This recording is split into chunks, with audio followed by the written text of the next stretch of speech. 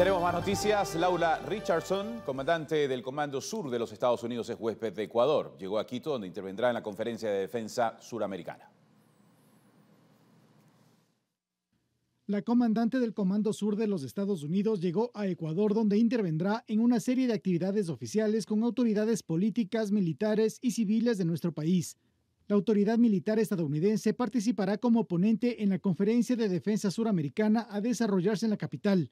La visita de Richardson tiene como uno de los objetivos promover un diálogo con el fin de lograr consensos en temas de seguridad y defensa, y promover el fortalecimiento de la cooperación entre las Fuerzas Armadas para derrotar las amenazas globales transfronterizas que socavan la seguridad ciudadana, usando como herramienta principal la colaboración regional.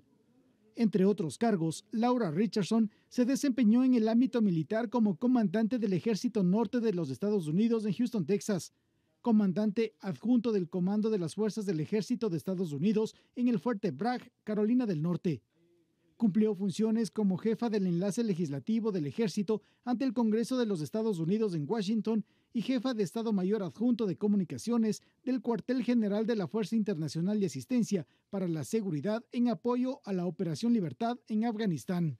Javier Ceballos, TC Televisión.